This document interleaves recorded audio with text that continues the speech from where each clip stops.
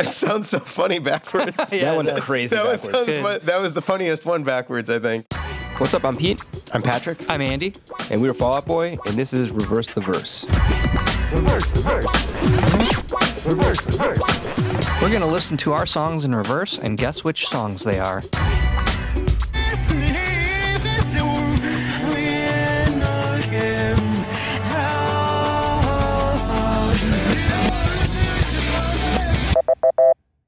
Sugar, we're going down.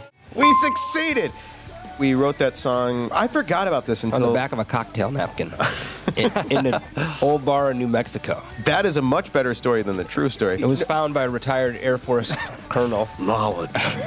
Their treasure was knowledge. So I remember writing the song, uh, writing the, the chorus uh, backstage at a show. I don't remember whose suggestion it was, but like, no, no, do it slower. And I was like, really? And that totally changed the entire thing. And it was kind of a new. Was it a good idea? I don't know. I don't know. I mean, the No, I'm not sure if it was mine then. Who's to say?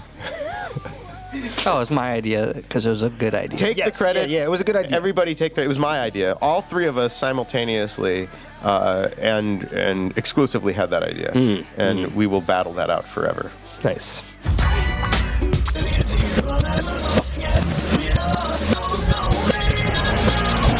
Thanks for the memories.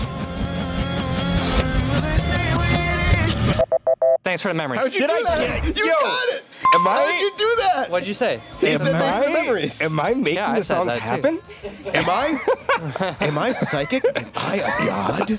And that was a song uh, we recorded with Babyface. We'd gone to this movie, Josie and, and the Pussycats, Mm-hmm. and uh, it sounded like rock music by made by somebody who just didn't have traditional rules for rock music, and we tried to figure out who it was, and it was Babyface that produced it, and we reached out to Babyface, and He would kind of be like, "Uh, "Why don't you try something like this?" And then he would just sing something, and it was Babyface, you know. So it would be like astounding, and I'd be like, "I'll, I'll try, you know, I'll see what I can do, man." But it was, it was really cool. It was a fun, fun record to make.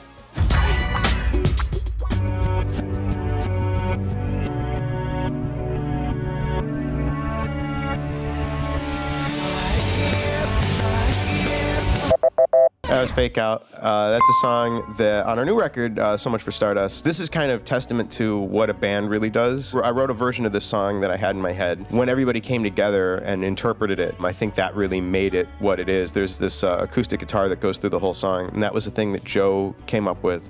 I never would have thought to do. I didn't really see the song that way. And he just went in and laid it down in like one take, and, and we all looked around and like, that was it. That's the song.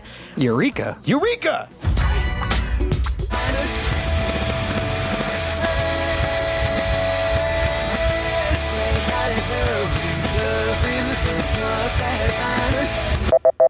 Dead on Arrival. No.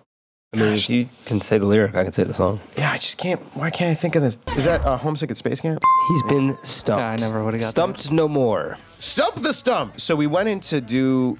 Uh, weirdly, Take This to Your Grave wasn't really recorded as an album. It was recorded kind of as two demos, and then when we got signed, we got to. They gave us budget to do like a few more songs to finish it off. You know. Trying to put our best foot forward and try and get signed, and I think that was the session that had Dead on Arrival and uh, Saturday, and then this was the third song that we went in uh, to record. This was still in the era where I was writing some of the lyrics. I always feel a little bit iffy about that because it's it's uh, you know I don't know that that's my strong suit. But yeah, It's a good song, man.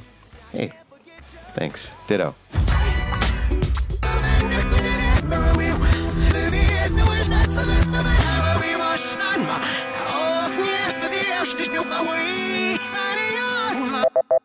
Love from the other side, right? Is it Love from the Other Side? Yeah. What we got to say about that one? Patrick was trying to write like an overture That's and like a savory song Just that he was just savoring like it all. savoring it all and moving the little mics like just one inch Yep. at a day. Sometimes spend all we the grew time like just setting up long gray mics. beards and just waiting. He was was just like the moving the mics around. We How were like, long can I take Will they ever this mic?" stop moving the mic? uh, they're making fun of me because in a lot of I've I mean I've said the answer a lot, which is the truth that we took a lot a lot of time on this record, placing mics and, and, and being careful about the sounds of everything. And this song was something of an overture, Peter. Yes.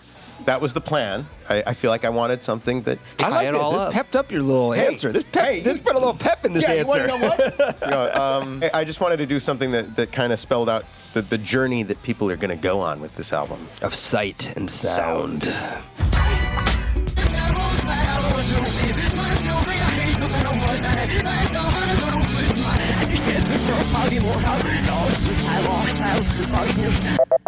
It sounds so funny backwards. Yeah, that one's no. crazy. That, one backwards. sounds fun. I, that was the funniest one backwards, I think. You know, David Bowie supposedly wrote uh, Life on Mars by doing Sinatra's My Way backwards. So maybe we Wow. should just write some songs by playing ours backwards. That was Dance Dance, by the way. There was something about that song that, like, it was the first time that It was sounded really us. just like us and nobody else. It felt like we had figured out something, and and so I I always have a special place for that song. It's you know people ask me sometimes what's your favorite song, and I'm like kind of that song because I feel like it, it was the first time that we, you know, became us. Hey, we're Fall Out Boy, and that was Reverse the Verse. We have a new album out called So Much for Stardust, and we will be touring uh, the States and a lot of places in the world on the So Much for Tour Dust tour um, with lots of other bands. That's clever. That is clever. See? Huh? That's what those glasses are for. I'm thinking. Check us out online, www. Just kidding. Wow. cool. We'll be here all night.